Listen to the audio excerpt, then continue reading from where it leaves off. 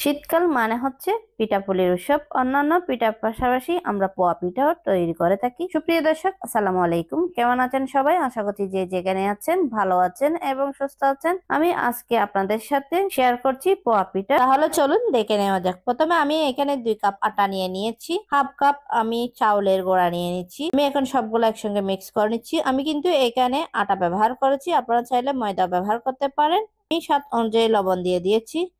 One স্পুনের মতো baking powder দিয়ে দিচ্ছি। আমি এখানে থ্রি ফোর কাপের মতো চিনি অ্যাড করেছি। সবগুলো আবার একটু মিক্স করে নিচ্ছি। এখন আমি এক গ্লাস পানি নিয়ে নিয়েছি। পানিটা কিন্তু রুম টেম্পারেচারের হতে হবে। আমি এখন ব্যাটারটা তৈরি করে নিচ্ছি।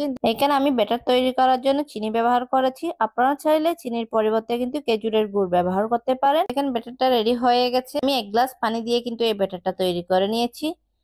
এখন আমি রেস্টে রেখে দিয়েছি। ভিডিওটা তাড়াতাড়ি শেষ করার জন্য ডিমগুলো আমি আগে থেকে সিদ্ধ করে নিয়েছি। সিদ্ধ করে ছিলে নিয়েছি। দেখেন, আমি এখন ডিমগুলো স্লাইস করে নিচ্ছি।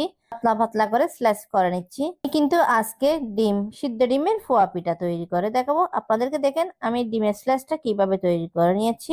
আশা করছি আজকে রেসিপিটা আপনাদের কাছে ভালো লাগবে। ভালো লাগলে লাইক কমেন্ট এবং বেশি বেশি করে শেয়ার করবেন। পাঁচ মিনিট পরে আমি ব্যাটারটা আবারও ভালো করে একটু ফেটিয়ে নিচ্ছি। পিঠা বানানোর জন্য আগে কড়াইয়ে তেল গরম করে নিয়েছি। সবগুলা পিঠা এক সাইজ করে বানানোর জন্য আর অনেক বেশি ফুলকো করার জন্য স্টিলের ছোট্ট একটা চামচ নিয়ে নিয়েছি। চামচের উপরে পিঠার গোলাটা দিয়ে দিচ্ছি। তাহলে সবগুলা পিঠা ফুলকো হবে এবং এক সাইজে হবে।